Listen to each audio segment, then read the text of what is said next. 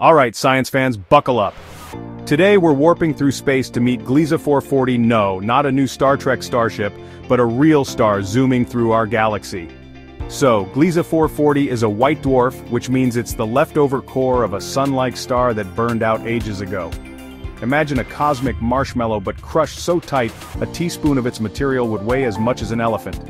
Yeah, wild. Now Gliese 440 sits about 15 light-years away which in cosmic terms is practically next door. But here's the catch, it's not super exciting to look at. It's faint, distant, and honestly, it's got some real introvert energy. But let's talk planets.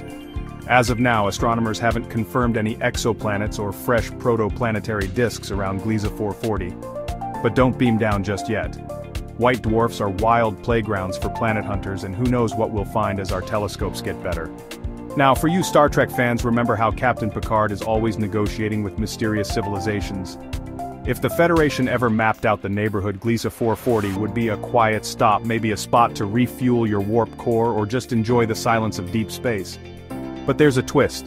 White dwarfs like Gliese 440 can tell us a ton about the future of our own sun like 5 billion years from now. It's a sneak peek into the far-off season finale of our solar system. So next time you look up remember there's a crushed stellar core quietly spinning not so far away, waiting to reveal its secrets. Want more cosmic adventures? Hit like, smash subscribe and ring that bell so you never miss a journey through the stars. See you next time.